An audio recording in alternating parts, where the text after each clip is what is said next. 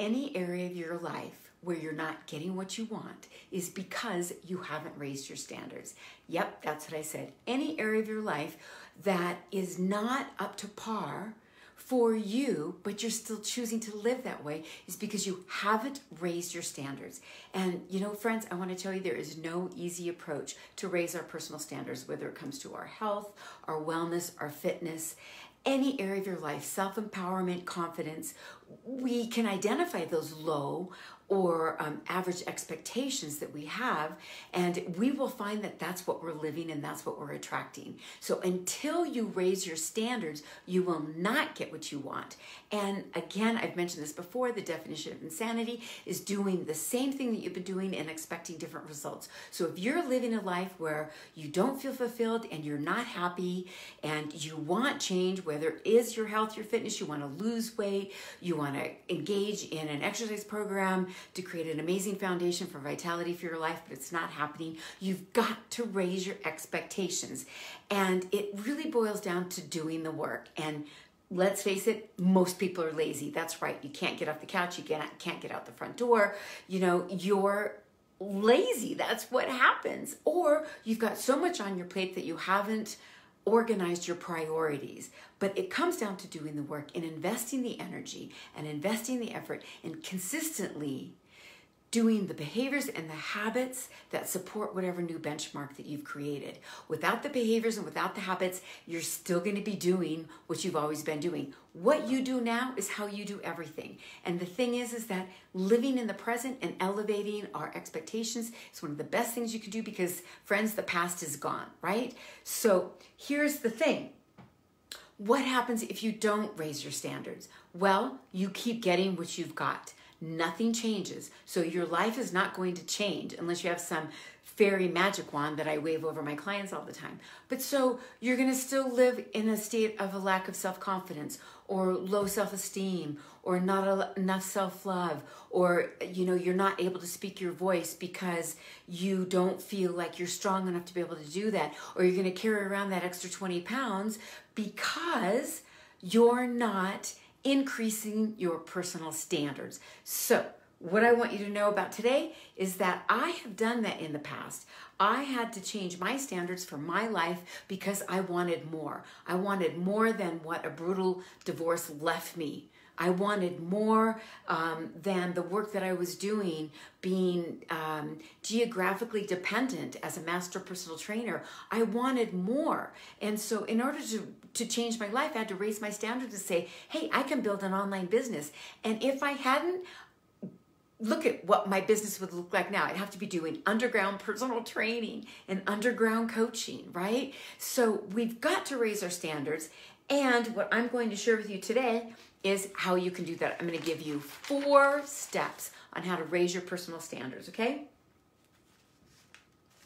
So, number one is you want to name and claim your belief. What is it that you want to elevate? So, if you want to lose 20 pounds, you can say, All right, instead of I can't lose 20 pounds because I just don't have the tools and I don't have the energy to do it, you can reframe that and say, I'm going to lose 20 pounds and I'm going to break it down week by week and month by month and make a plan. And that will create a new personal standard for your life. So, what you want to do is name and claim your belief and identify the limiting belief. What's holding you back? If you feel like, well, I can't go forward because I don't have enough confidence, you want to um, change that and create a new message and a more challenging one on the opposite end of the spectrum that says, I am a confident, powerful woman, and here's how I'm going to build my confidence. Number two, you want to visualize your reality of raising the bar.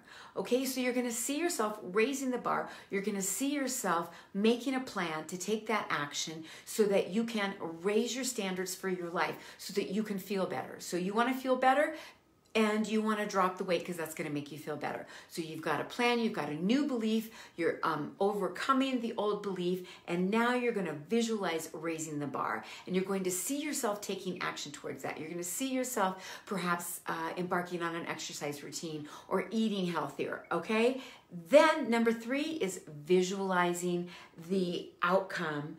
And so the thing is, is what if you don't start pursuing these goals? What is it going to look like? You're going to continue to feel lousy. You're going to continue to feel unhealthy. You're going to continue to not be vibrant and be able to take action towards your goals. So you want to visualize the outcome, but not just visualize it. You want to take action. Number four is you've got to act. You've got to step into action. So after you visualized what steps I need to take in order to do that. Then you're going to start taking action and you're going to start taking action every day. So remember, small steps move mountains and you just have to continue to do that. So after you rewrite your personal standards of what you want, whether it's visualizing new health and wellness or having vitality, you've got to get into action. There's no way around this. Remember earlier I said it takes energy and commitment. It's going to take behavior changes and habit changes in order to do that.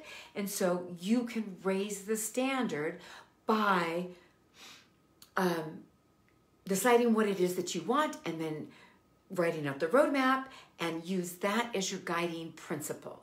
So, who thinks that they can do this? Drop a comment below if you think that you can do this. And the thing is is that if you are ready to turn your should haves into your must haves and stop settling for where you are now and raise your standards, now is the time to do it. And I want to invite you. I've got a, a PDF that's free and it's called three habits that keep you stuck. And if you want to get unstuck, click on the link below and it, you can have that free, PDF, that free PDF. It's yours now. If you want to take action, this is going to help you do that.